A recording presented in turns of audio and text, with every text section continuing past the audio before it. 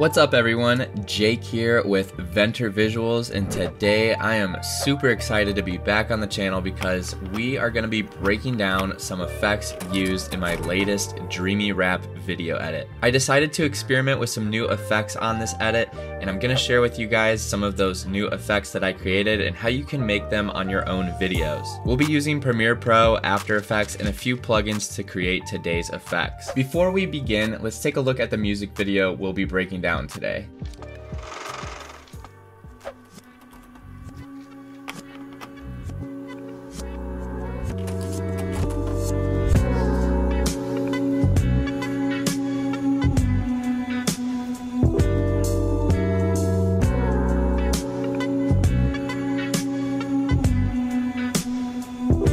Yeah, I'm trying to transform this talent that I got into dividends, knowing that the shit that I'm going through will come to an end. Gotta keep my head up and push through, need to persevere.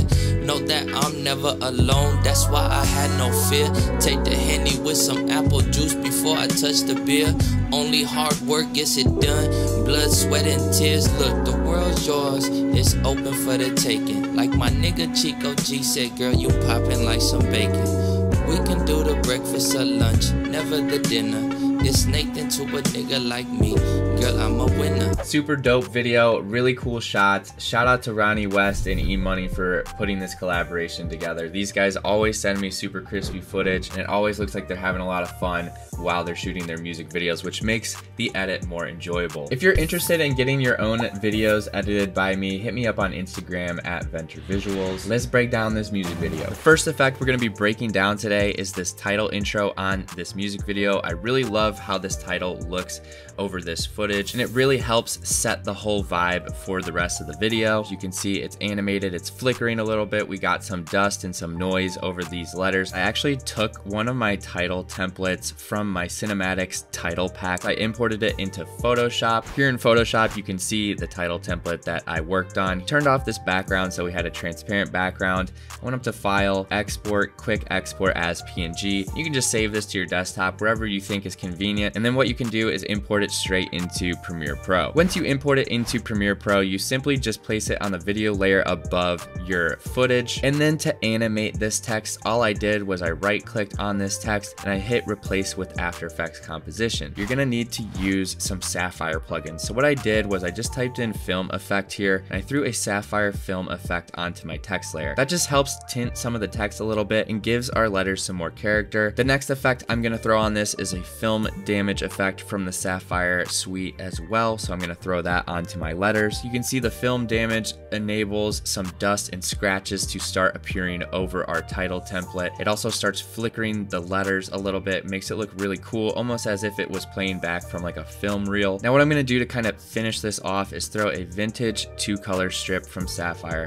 onto the letters as well. Make sure that our background is transparent here. I'm gonna hit Command S to save it back into Premiere Pro. Once you save it back into Premiere Pro, you should get something like this. So really cool. I really enjoy placing these types of effects on titles and graphics to help animate them and give our videos more character. The next effect that I'm going to be breaking down today is so cool and it's done by using a plugin called Displacer Pro. Not only can you create some super trippy transitions with this plugin, but it's also incredibly easy to use. Displacer Pro gives us the ability to create these really trippy liquid type of dissolve transitions. The first thing you're going to do for this effect is take your first clip and move it up to video layer 2 and then you're going to drag the end of of it out over your next video clip. What I'm gonna do now is cut the first part of that, move it back down to video layer one just to stay organized. Now I'm going to right click this clip on top and hit replace with After Effects composition. Back in After Effects, I'm gonna go to my effects and presets and type in Displacer Pro, click and drag it onto my video layer. With Displacer Pro on our clip, you can drop down your effects and we're gonna start by keyframing the map softness,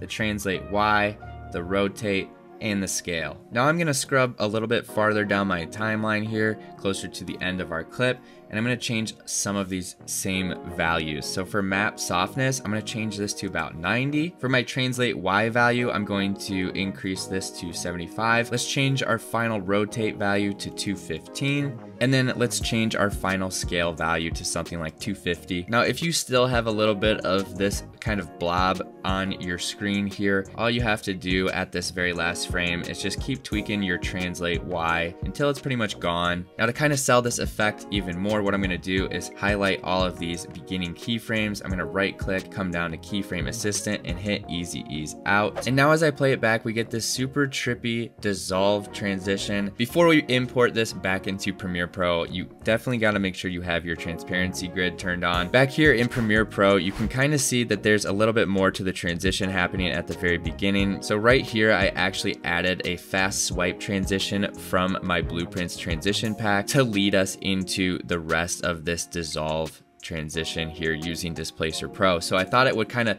help smooth it over a little bit. For this next effect, we're going to be doing some quick rotoscoping to get this trendy visual effect. This effect is really simple to create, but if you're not familiar with rotoscoping, I highly recommend checking out my rotoscope basics tutorial before you attempt to do effects like this. I wanted to kind of open this sequence with something that would pop a little bit more and catch the attention of the viewer. I rotoscoped both of these cars out in After Effects. I added some motion tile to get the kind of repeated car pattern without having to duplicate these layers over and over again. And then I added some blur using Sapphire Blur. So let's pop under the hood of this effect and jump into After Effects so we can break it down. So anytime you're gonna make these types of effects, you wanna make sure you keep your original footage layer on the very bottom of your layers. Now, if we turn this base layer off, we can start to look at what these other layers are doing. We have two rotoscope layers of the cars. There's nothing crazy going on with these layers. They're just meant to be kind of overlapping the actual rotoscope effect. So let's turn these layers off. And on these duplicate versions, I added a motion tile. So what motion motion tile does is it kind of repeats whatever you place it on and gives it kind of that repeated effect there. So I didn't have to create a bunch of new layers to get each of these cars. I just used motion tile. I keyframe the motion tile center here, which you can see. And then I added some sapphire blur so that it looks like it has a little more motion blur as they settle into the frame. Now if we turn just our rotoscope layers back on, you can see what that looks like without our original clip background, right? So it looks really cool. And now if we turn our base layer back on, we get this type of effect. It's really not too complicated. You're just rotoscoping, duplicating that layer, and adding some motion tile. This next effect is so cool and super useful. It's a part of the Sapphire plugin suite, and it's called Sapphire Edge Rays. This plugin that's included with the Sapphire suite can really make any edit look super dreamy within seconds. During the transition into this clip here, we have these edge rays coming off of the objects within our shot and it gives us this really nice kind of glow effect. You can see it kind of fades fades away throughout this next clip here. Let's just drag this out a little bit. So boom, you can see it kind of opens the clip, boom, with those edge rays and fades away. It makes it look more dreamy, more nostalgic that way. Now here in After Effects, all you're gonna do is go to your effects and presets and type in edge rays. Now you can see S edge rays. We're gonna throw that onto our clip and boom, it's gonna be way too much at first. We're gonna take the ray brightness down quite a bit here. 0.8 right there. That looks pretty good to me. I think another really useful value for tweaking this plugin is the ray length. I'm just gonna keep it relatively simple for now. We're just gonna go with it right about at that amount. And now what I'm gonna do to kind of introduce this into the shot and dissolve it away as the shot continues is keyframe the ray brightness. So I'm gonna make a keyframe here at the very beginning of my clip. Let's actually take this up to like a one. And then as the clip moves forward here, let's take it down to a zero. So boom, now it's completely gone. And now when we play it back, you'll notice the clip starts with those edge rays and they kind of fade away as the clip moves forward. Back here in Premiere Pro, you can see I did the same thing with another clip farther down our timeline, except for this clip, I actually changed the edge rays to be this red color to kind of match this car here. It just kind of helps introduce the shot and it's really easy on the eyes. It's really dreamy and I really love this plugin. I've really enjoyed using the Sapphire suite. This next effect is super creative. It's this kind of like film slideshow transition. I use these transitions to give my edits a more nostalgic look and feel and they work perfectly with songs like this. So here in Premiere Pro, you can see We got some sound effects going on to kind of help sell this transition as well.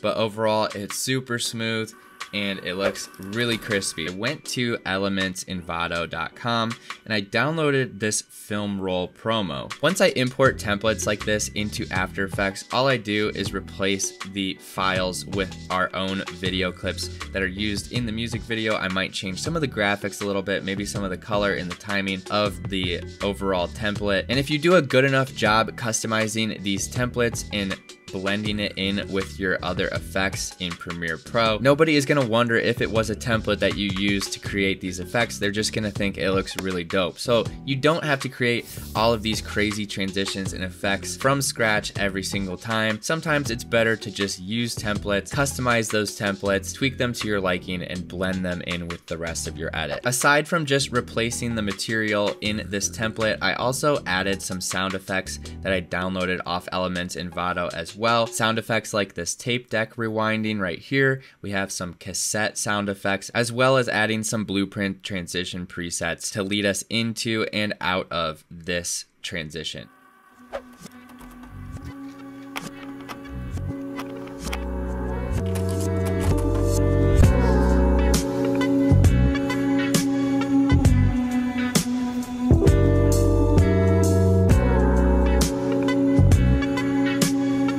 Also added some really cool vintage color grading to some of these clips. So I have a few clips that look like this in this music video. It's got really nice tones and some dust and scratches. So whatever clip you decide you want to give this type of vintage look, you just got to import it into After Effects and we're to type in film damage. This is a, a plugin that we used earlier on our text from Sapphire. We're to click and drag that onto our video layer. From here you can customize the grain, the scratches, the flicker, but the most important part of achieving these awesome vintage tones is by typing in vintage. We're to go with a Sapphire Vintage Color 2 strip and drag that onto my video layer as well. Now what I like to do to kind of add the cherry on top for this look is just turn my defocus up here. Let's turn this up to like a 0.3.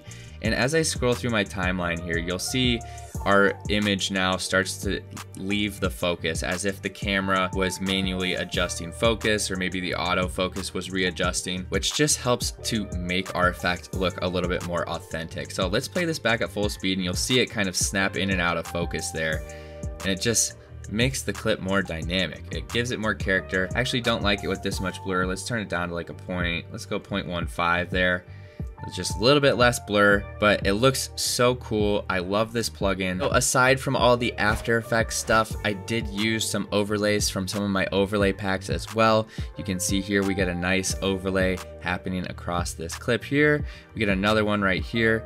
These are overlays from both my blueprints pack and my texture overlays pack. I designed these overlay packs to help blend my footage together more, speed up my workflow, and add that extra sauce to my visuals and they're really easy to use. So let's take an overlay from my texture overlays pack available on my website and I'm just gonna click and drag it onto video layer 2 above some of my footage. Once I place this overlay on video layer 2, you can't see our original video clip layer underneath until we change the blending mode. With our overlay selected, we're gonna come up here under our effect controls, go to blend mode and change it to screen. Now you can see our overlay remains on the screen, except now it's just on top of our original footage layer. Now as I play it back, you'll see it just adds a little bit more character to our shot a little bit more flair to the overall edit, and it was super easy to place onto our timeline. So if you're interested in getting yourself some cool overlays, definitely check out my texture overlay pack or my blueprints pack. This final editing trick is kind of a quick one, but I don't think a lot of people know about it and it has a lot to do with color grading. Say we want to take this clip right here and color grade it.